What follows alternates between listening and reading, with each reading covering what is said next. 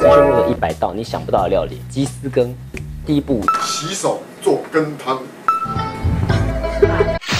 哎，好好好好，不要不要。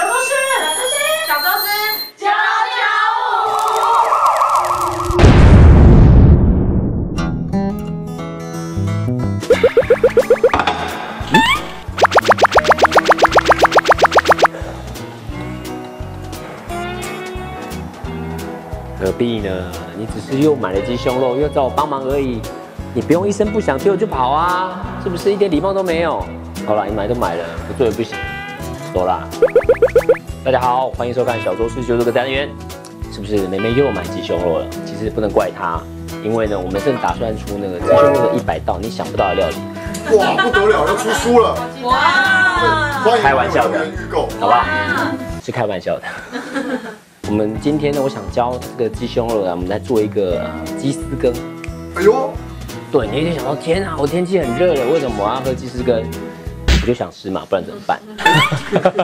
怎么那么任性啊？首先，我们先来切鸡胸肉。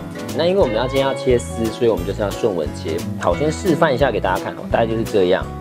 OK，哦，水感哦，是的。啊，腌的很简单，因为鸡胸肉呢，它是很轻味的东西，所以其实我们在腌它的时候呢，味道不要太复杂。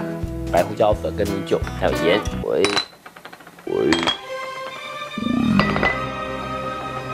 气死，居然留了这一个。好，米酒，嗯，很小心。Anyway，最后一定要加点太白粉，这样子我们就腌好。那接下来呢，我们就要开始煮我们的汤了，煮我们的羹。那大家知道呢，煮羹汤的第一步要好吃，重点是什么？你知道吗？洗手做羹汤。好，其实最重要是要炒香它。哦，对，其实因为你经过炒过之后呢，会有香气留在锅子里面，然后你再去煮的时候，你的汤就会有香味。哦，接下来我们就下我们的高汤、红萝卜丝，以及呢，我今天又要再加一个东西，这东西我很喜欢，不用汉干蛋哈。对，就是木耳，哎呦，这破梗。很好。不会不会不会，等一下我认真。他，他看的材料嘛，他看的材料当然念得出来。不要这样乱夸他。些盐、胡椒粉。那我们今天的我们的羹呢，我们也不勾芡，而是吃一个健康清爽的感觉。就让它煮煮个八分钟左右。哦，看这颜色，Oh！这个香气真的很香。接下来呢，我们就转小火，为什么呢？因为我们要下我们的鸡胸肉，然后让它用温度慢慢把它泡熟。哦，哇，好嫩哦，那个肉，哇塞，鸡胸肉这么嫩，不可能。来试看。你看，哇嫩完嫩哎呦，哎呦，不简单。我们再呢稍微把它回滚一下就好了。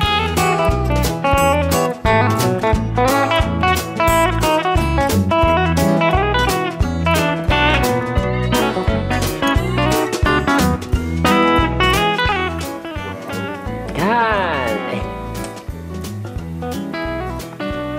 哦，汤清、味浓、韵味、回甘，大家试试看。以及最后提醒大家，我们真的没有要出一百道几种料理，好？多三十道。哎尽快就在博客来。哎，好好，好，好，不要，不要，谢谢大家，拜。拜拜。